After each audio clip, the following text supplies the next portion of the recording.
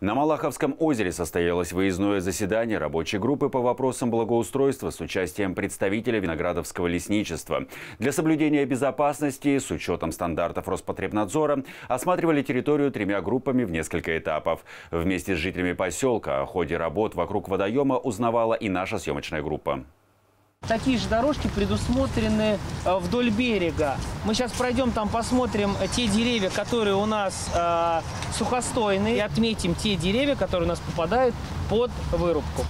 Состояние каждого дерева оценивает заместитель директора Виноградовского лесничества Алексей Волошин. Членам рабочей группы разъяснили, как проводят работы по признанию деревьев аварийными. Если ствол сухой или может угрожать жизни и здоровью людей, его необходимо удалить. Перед тем, как поставить красную метку, взвешиваются все «за» и «против».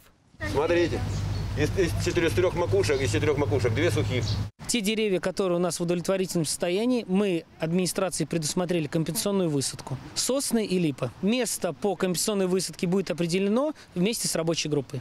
Жители высказали свое мнение о том, какие деревья хотели бы видеть в парке у озера. Администрация учтет эти пожелания при компенсационном озеленении. 7 июня подрядчики приступят к капитальному ремонту дамбы. Раньше эти работы начать невозможно, потому что сейчас рыбы не рестятся.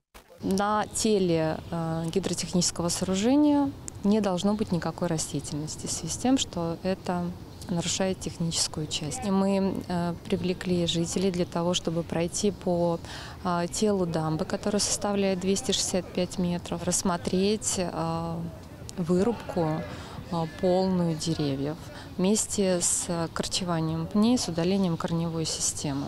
Реконструкция дамбы завершится 15 августа, а очистка Малаховского озера к концу октября. Территория вокруг водоема превратится в современную и безопасную зону отдыха. Анна Троян, Луиза Игиазарян и Петр Пономаренко. Телеканал ЛРТ.